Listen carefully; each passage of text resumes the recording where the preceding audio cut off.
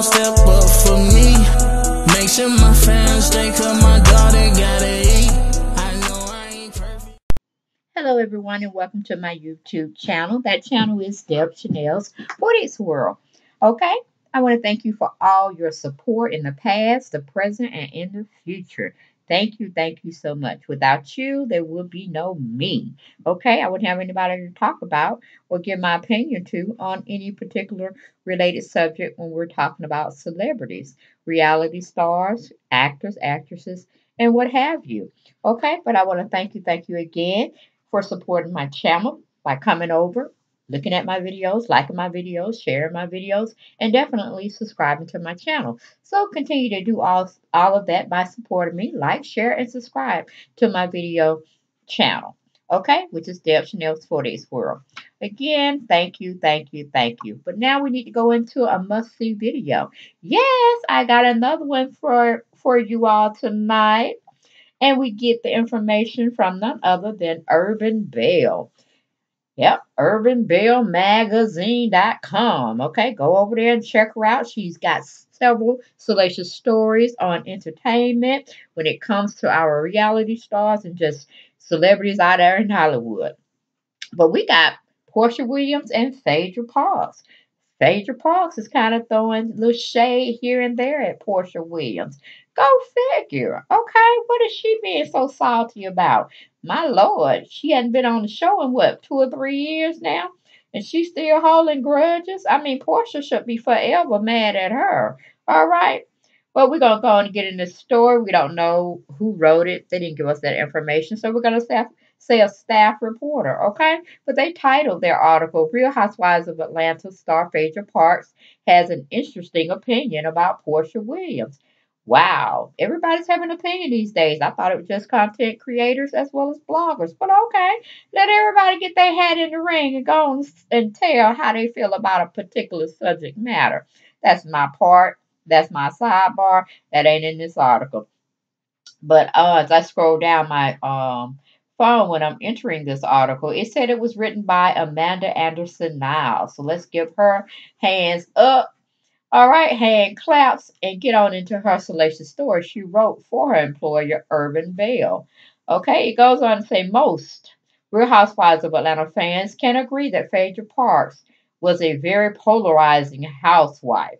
She had some of the most controversial feuds, and some of her reads were unforgettable. And my neck King Cole voice. Unforgettable, that's what you are. Unforgettable. One year of fun. I can't remember the lyrics, y'all, but it just made me think about it, okay? Get into it. Uh, that was Natalie Cole and her father, Nat King Cole. But getting on back into this article, got me uh, being a little nostalgic there. But anyway, it goes back to the article. We says, wow, she has her share of critics. She also has a lot of fans. In fact, many would like for her to return to the show. However, Phaedra's return will lead to Kandi Burruss' exit. And just a sidebar, I don't know if it's true or not, but it's my opinion. I really feel if Kandi uh exit that show because Stranger came back, then she gonna try to own Bravo Entertainment. True entertainment. Yes, I think the litigation, the papers will be rolling, files will be uh put out there, people will be summoned to come to jury duty and all that. So no, I really don't think Phaedra will be bringing herself back. Okay, unless maybe it was a Bravo somewhere else in another state. But I don't even know if uh, Kandi will sit still for that either. So she has a Klein uh, lock where Phaedra cannot come in. And it's just a shame because, like I said, I don't understand how professional career choices aren't as lucrative as being in the entertainment field because we all seen Phaedra out there. She almost looking like a bot. She every picture she's taken is very provocative, and it just makes you know I guess men fall all out or whatnot. And maybe some ladies if they're that way, but it's just like she's always on the camera. She's out. I'm like, are you hiring your film crew, honey? Are you hiring people to take pictures of you and post them? I'm, I'm just saying because ah, you're doing too much out there. And I'm like, you're a lawyer, and then you uh got your licensure in mortician type work. I mean, people are dying every day. I'm sure that should be keeping you in the business because when you was on the show, you sure was trying to get that degree and try to feel like you were gonna be in partnership with I think it was it's Watkins Funeral Home. They had Wiley Watkins funeral home that they had showcasing when she was on the show and she was gonna be like shadowing him and he was gonna be her mentor and all like that. What happened with that, Phaedra? I mean, that's lucrative money. That's money every day, all day. Uh, cause like I said, people dying every day. So and then you're a lawyer. People need representing on certain type of infringements they do on a daily basis. So you got two solid careers that never should you be begging bread or trying to make ends meet. You should always have clients at the Wazooka. But yet you find all kinds of time to be posing for pictures and trying to be in everybody's magazine cover. I mean, I understand. Even in the top blogs, we're trying to do stuff. I'm like, sit yourself down, Phaedra. Wish you could come back because Lord knows you would give me something to chuck about and talk about on a daily run, okay? But it's just not going to be feasible from what I see, okay? And what I hear on the streets, you know, because the people be talking. They want you back, but Kandi got it on lockdown, allegedly. Like, no. Y'all even attempt to smell her fragrance come up in this True Entertainment Enterprise section. I'm about sitting down there trying to get her a contract. I got some contracts for y'all too. So they ain't trying to do nothing on that front about bringing her back. But anyway, going back to the article, it says this is all because Porsha Williams claimed Phaedra was the one who told her Ted and Todd wanted to drug her and take her to their dungeon. Okay. After Andy Cohen claimed this resulted in the cast refusing to film with Phaedra and she lost her peach folks are still very opinionated about the situation today. Phaedra recently liked a very interesting comment a follower made about Porsha.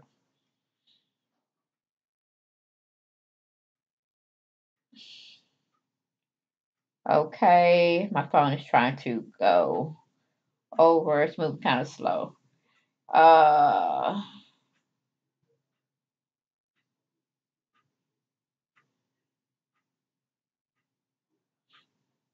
Okay. It basically was saying a commenter had wrote on her post or on what do you call it? Urban Bella. Somebody named D Queen 105 wrote, You let Porsha get away with a lot.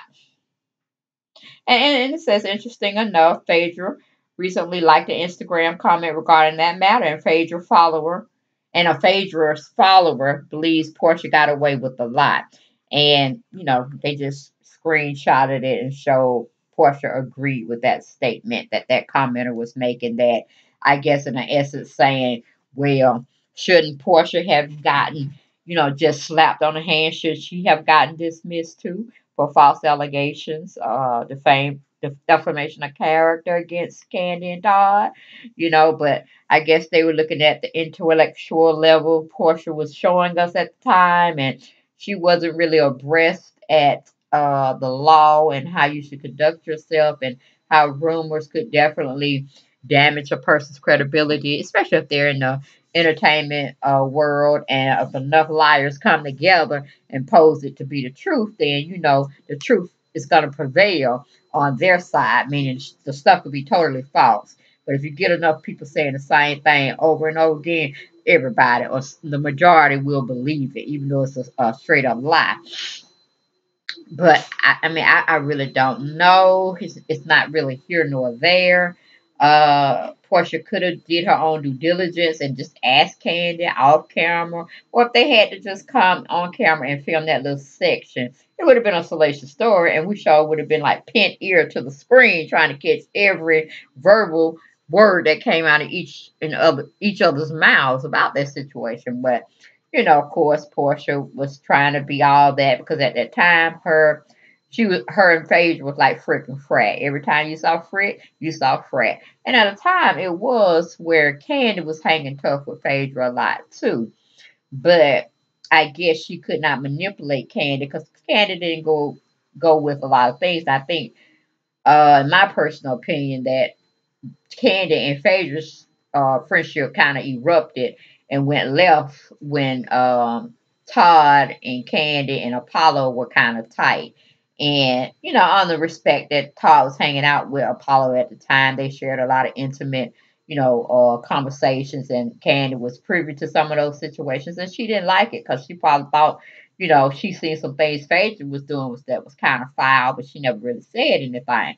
But with Kandi being in the middle and she's seeing, hearing two different sides from uh, Apollo's side and Phaedra's side, and she had to be like, who's the lesser evil, who's really you know telling the truth. So she had to really put her thinking cap on and say, well, Apollo is saying it's making much more sense than what I've seen and heard Phaedra do out there in them streets. So I think those tables kind of turned when Phaedra really felt that Kandi was on her soon to be ex husband's side and she really didn't have any validity to stand with her. Uh, you know, as women stand together and we unite together, you know, we take down this brother. tournament, to, uh, sort of mentality way of thinking. But um, yeah, that was just a hot mess all the way around. And I kind of still feel some sort of uh, negative way that Kandi would definitely uh, take a business adventure and turn it into a money making type of ordeal. But she blatantly said that was damaging to her uh, self as a woman, as a businesswoman, and just uh, you know a nice pillar in the community. But you know, to each his own, and you know, I'm sure lawyers got in it and and, and litigated, and they you know said she could make the money off of it. It wasn't a rumor she started, it's something definitely she's not doing. So I guess she got the green light.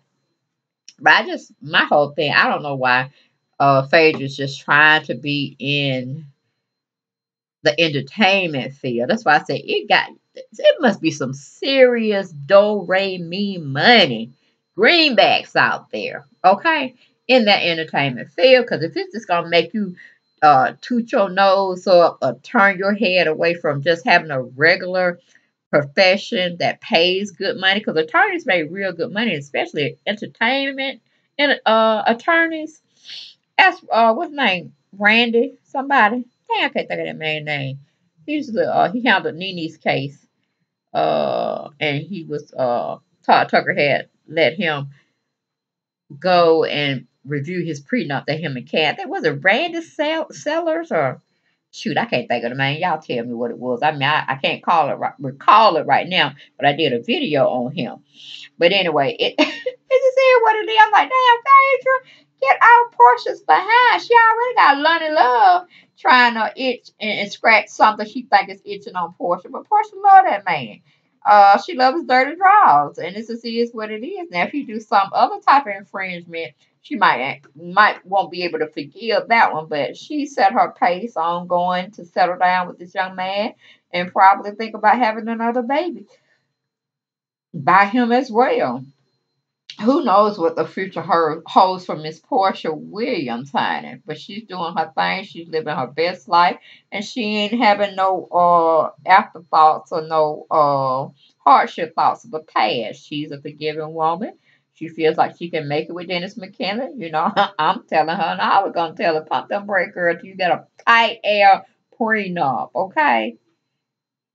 Get that straightened out, because then you're going to be hollering and crying, doing a lot more devastation out there if that man around, you know, the corner that you call your fiance, boyfriend, lover, whoever, take you for all your money. Okay, then you really going to be hollering. Ain't nobody going to want to hear it. Ain't nobody going to want to hear it. Your mama probably ain't going to want to hear it, because she probably told you, look at here, look at here, I told you about that man. But you didn't listen. You want to go learn. You want life to teach you the hard knocks life of lessons out there. You want to go and enroll in that school. And so it's going to teach you. It's going to teach you very well. But that's all I have for this video. I just found it very interesting that uh, Phaedra Parks is in the business of giving her opinion when it comes to Porsha Williams. when she had so much uh, had her hand in her own demise of getting off of the show. But yet she want to have a negative opinion towards Porsha. I said, Porsha, you got so many enemies coming after you, baby girl. Woo, child, when you got enemies, enemies that call themselves your friends, you definitely don't need no friends. but that's all I had for this video, y'all. It was brought to you by me, Gail Chanel's 40s, where on behalf of Urban Belle. So if you want any more salacious stories that I may not put out, but she may be banging them out over there, please go to UrbanBelleMag.com and get your entertainment ears and eyes well read. Okay? See y'all next video. Bye-bye. I know I ain't perfect, but